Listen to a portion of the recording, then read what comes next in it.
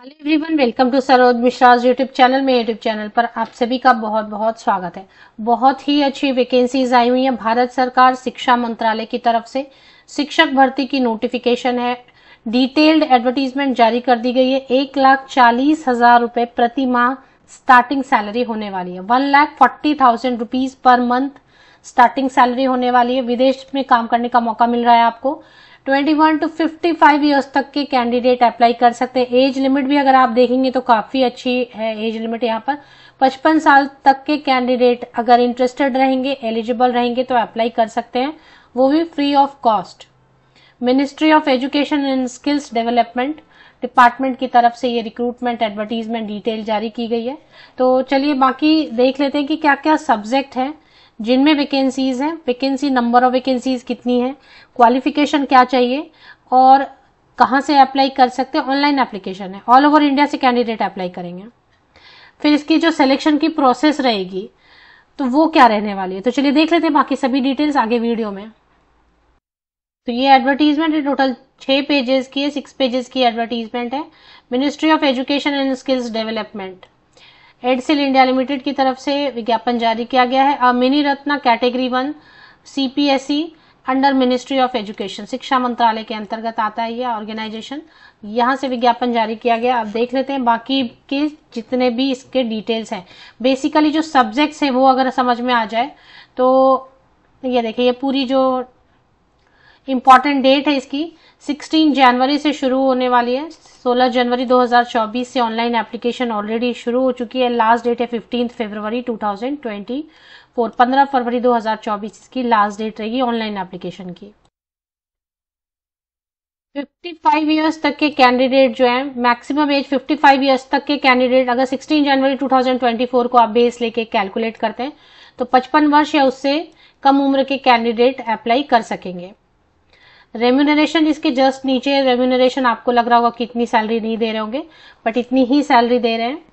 तो यहाँ पर आप देखेंगे consolidated gross remuneration of rupees one lakh forty thousand rupees per month from the date of joining जिस डेट से आप ज्वाइन करेंगे, उसी डेट से आपको एक लाख चालीस हज़ार रुपए पर मंथ मिलेंगे। यहाँ पे लिख भी दिया इन्होंने वर्ड्स में one lakh forty thousand only per month from the date of joining और अब देख लेते हैं सब्जेक्ट की डिटेल इसकी जो जॉब लोकेशन होगी, वो भी समझेंगे सिलेक्शन क्राइटेरिया भी समझेंगे। तो अगर आप ऐसी अपॉर्चुनिटी चाहते हैं अच्छा इसमें मैं बताऊँ, आपको जो जॉब लोकेशन रहेगी, वो अब्रॉड में रहेगी, और अब्रॉड में कौन से लोकेशन पे रहेगी तो वो चीज़ें समझ लेते हैं। Advertisement number EdCIL Bhutan secondment of STEM teachers 2024 number one तो recruitment of STEM teachers for the royal government of Bhutan तो actually government of Bhutan Bhutan सरकार की तरफ़ से on the behalf of Bhutan government अपने भारत सरकार ने ये विज्ञापन जो है जारी किया है भूटान सरकार के बिहाफ में। मतलब ये जॉब लोकेशन भूटान में ही होने वाली है। EdCIL limited on behalf of the ministry of education and skills department, royal government of Bhutan invites online application from Indian PGT teachers for recruitment to the following teaching post अगर आप ऐसी और भी job opportunity चाहते हैं मेरे YouTube channel पर, जहाँ पर अब्रॉड में काम करने का आपको मौका मिल रहा है सैलरी बहुत अच्छी है, डेढ़ लाख के अराउंड है पर मंथ और विदेश में काम करना है आपको, यहाँ पर नहीं। भूटान तो क्या है कि पीसफुल है, ऐसा कुछ नहीं प्रॉब्लम भी नहीं। आप वहाँ जाके काम भी कर सकते हैं, और पास भी है बहुत, ऐसा भी नहीं कि बहुत दूर है। मैथमेटिक्स के लिए फ़िलहाल, अगर आप चाहते हैं कि ऐसी अपॉर्चुनिटी मैं और अपडेट करूँ अपने चैनल पर सर्च करके लाऊं आप सभी के लिए तो कमेंट सेक्शन में ज़्यादा से ज़्यादा लिख सकते हैं। अब बाकी डिटेल हम समझेंगे मैथमेटिक्स के लिए है, और इसमें जो नंबर ऑफ़ वैकेंसीज ही देखेंगे सीधे। कंप्यूटर साइंस के लिए 28 वैकेंसीज फिजिक्स के लिए 18 वैकेंसीज केमिस्ट्री के लिए 19 वैकेंसीज एंड मैथमेटिक्स के लिए 35 वैकेंसीज तो कुल मिला के सौ वैकेंसीज हैं जिसमें मैथ्स फिजिक्स केमिस्ट्री और कंप्यूटर साइंस है। एलिजिबिलिटी क्राइटेरिया मास्टर डिग्री होना चाहिए 60 परसेंट या अबव मार्क्स के साथ में। बीएड होना चाहिए आपका। और बीएड कंप्यूटर साइंस के लिए बीएड की ज़रूरत नहीं है। बीएड नहीं भी है तो सिर्फ़ मास्टर डिग्री है 60 परसेंट या अबव मार्क्स के साथ में। कंप्यूटर साइंस में या आईसीटी में तो आप अप्लाई कर सकते हैं। M E M tech computer science या एमएससी कंप्यूटर साइंस वाले या आईसीटी वाले। इंग्लिश में आपको पढ़ाना आना चाहिए और पाँच साल का experience eleventh and twelfth standard को पढ़ाने का होना चाहिए। आपके पास teaching experience eleven and twelfth standard eleventh and twelfth grade को पढ़ाने का होना चाहिए पाँच साल का। तब आप अप्लाई कर सकते हैं थोड़ा बहुत टेक्नोलॉजी लैपटॉप यूज़ करना वगैरह, ये सब तो सभी को आता ही है। तो रेम्यूनरेशन की बात हमने कर ली। अब बात करेंगे कि ये जो जॉब लोकेशन की बात कर ली कि भूटान में आपको कहीं पे भी, अब, इसमें देखते हैं और क्या बेनिफिट्स एक्स्ट्रा मिल रहे हैं, वो भी देखेंगे। टेन्योर क्या रहेगा? Tenure of posting shall be minimum of two years देखिए, एक बार जब आप किसी भी अब्रॉड कंट्री कहीं पे भी आप फॉरेन कंट्री में काम कर लेते हैं अब्रॉड में काम कर लेते हैं, दो साल, पाँच साल, तीन साल तो फिर आपको वैसी अपॉर्चुनिटी और दिखने लग जाती है, क्योंकि आपके कलीग्स होते हैं, वो आपको और आइडिया देते हैं कि यहाँ से ऐसी वैकेंसी आई है। और आपको एक बार जब बाहर का एक्सपीरियंस हो जाता है तो आप बहुत ज़्यादा जो है ना, उस चीज़ को पॉजिटिवली लेने लगते हैं कि हाँ मैं और भी ज़्यादा एक्सपांड ग्रोथ कर सकता हूँ। मैं और भी ज़्यादा एक्सप्लोर कर सकता है नई नई जगहों को, या कर सकती हूँ। तो टू इयर्स के लिए ही है फ़िलहाल, लेकिन अच्छी अपॉर्चुनिटी है। The tenure of posting shall be for minimum of two years and teacher may be posted and relocated anywhere in Bhutan depending on the requirement of the royal government of Bhutan तो आपको भूटान में कहीं पर भी काम करने का मौका मिल सकता है। दो साल के लिए रहेगा मिनिमम इसके बाद आगे भी हो सकता है। Leave medical benefit travel passage and other terms of employment will be as per the contract with the royal government of Bhutan तो आपको सैलरी तो मिलेगी। अपार्ट फ्रॉम दैट आपको छुट्टियाँ मिलेंगी मेडिकल बेनिफिट मिलेगा और ट्रैवल पैसेज भी मिलेगा। एंड अदर टर्म्स और अदर कुछ बेनिफिट्स पर्क्स भी मिल सकते हैं। अप्लाई कैसे करना है? जो इंटरेस्टेड कैंडिडेट है हाउ टू अप्लाई और विज्ञापन कहाँ देखना है, वो भी मैं आपको बता देती हूँ। Candidates are required to apply online through EdCIL website no other means और mode of application will be accepted EdCIL का वेबसाइट है विकीपीडिया पे आप जाके टाइप करेंगे एडसिल विकीपीडिया तो आपको इन्फॉर्मेशन भी मिल जाएगी एडसिल के बारे में और जो है उसके वेबसाइट भी मिल जाएगी। आपके पास एक वैलिड ईमेल आईडी होना चाहिए, बाकी नाम, आपका डेट ऑफ़ बर्थ पेरेंट्स का नाम वगैरह। Scan and upload your recent passport size, photograph and signature वगैरह आपका लगेगा।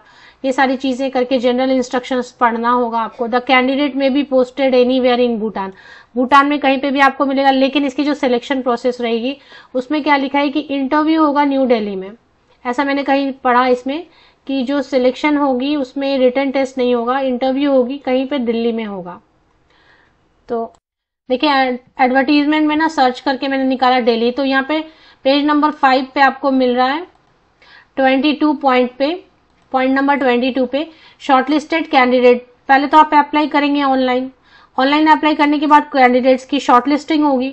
उनको इन्फॉर्म किया जाएगा वेन्यू कब आपको जाना है और कब आपको इंटरव्यू के लिए अपियर होना है। तो आपको इंटरव्यू और डेमो क्लास एक रेडी रखना। कोई भी टेस्ट नहीं होने जा रहा है। फ़िज़िकल आपको जाना होगा।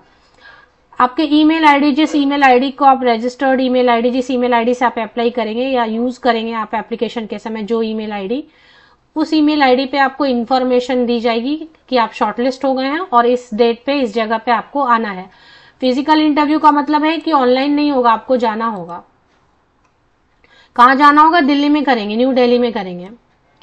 ऑल ओरिजिनल उस समय आपके पास ओरिजिनल डॉक्यूमेंट्स होने चाहिए।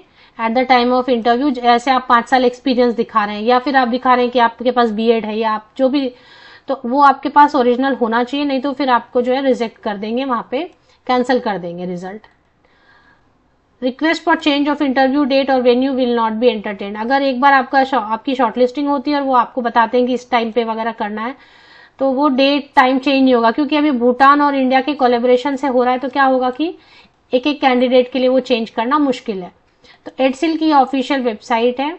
इसके होम पेज पर पहले लिंक आपको मैं दे देती हूँ होम पेज की। और उससे यहाँ पर देखेंगे, ऊपर आप देखेंगे। एडसिल के बारे में क्या लिखा है वो अगर आप पढ़ना चाहते हैं तो यहाँ पे पढ़ सकते हैं वेबसाइट पे। EdCIL India limited a mini Ratna category one CPSE a government of India organisation है ये। और अब इसमें यहाँ पे देखेंगे करियर मुझे दिखाई दे रहा है ऊपर। आपको शायद मोबाइल में कहीं और दिखाई दे। तो करियर पे एक बार क्लिक करेंगे आप। तो करियर पे जैसे क्लिक करेंगे तो एक पेज ओपन हो जाएगी। करियर पेज और इसमें जो है, इसमें कहीं पे आपको मिल जाएगी करियर सेक्शन में ही। करियर में एक बार फिर से करियर एट एडसिल लिखा हुआ है तो ये वाला क्लिक कर लेना है। और रिक्रूटमेंट्स फॉर एडसिल फिर से रिक्रूटमेंट पे क्लिक करेंगे एक बार। और यहाँ पर आपको दिखाई देगा recruitment of STEM teachers for the royal government of Bhutan ये वाला आपको क्लिक कर लेना है। तो तीन चार स्टेप्स के बाद आपको ये पेज मिलेगा और इसमें एप्लीकेशन की लिंक भी आपको मिल जाएगी। जब आप पीडीएफ एडवर्टीजमेंट वाले ओपन करेंगे ना तो हाउ टू अप्लाई आपको मिलेगा पेज नंबर थ्री पर पॉइंट फाइव पे लिखा हुआ हाउ टू अप्लाई वहाँ पर आपको एक लिंक मिलेगा नंबर वन में H T T P dot EdCIL teacher recruitment dot com इस पे एक बार क्लिक करना है। Click here to apply returning user log in here registration form तो यहाँ पर ही आपको जो है ना डिटेल्ड एडवर्टीजमेंट फिर से मिलेगी। आपको कुछ क्वेश्चन पूछना है। तो फॉर फ्रीक्वेंटली आज क्वेश्चंस कुछ एफ़ के आंसर किए होंगे, कुछ आपको डाउट हो तो इस पर भी पढ़ सकते हैं। फिर भी प्रॉब्लम आ जाए, कहीं पर टेक्निकल प्रॉब्लम आ जाए तो ये हेल्प डेस्क नंबर है जो कि मंडे टू फ्राइडे दस बजे से पाँच बजे तक आप कॉल करके देख सकते हैं। इस पर रिस्पॉन्स नहीं आए। कहीं टेक्निकल प्रॉब्लम आए फॉर्म भरने में तो ये वाला लिंक दिया हुआ ईमेल आईडी दिया हुआ, इस पर आप अपना क्वेरी रख सकते हैं। तो होम पेज के लिंक मैं आपको वीडियो के डिस्क्रिप्शन बॉक्स में प्रोवाइड कर देती हूँ बेस्ट विशेष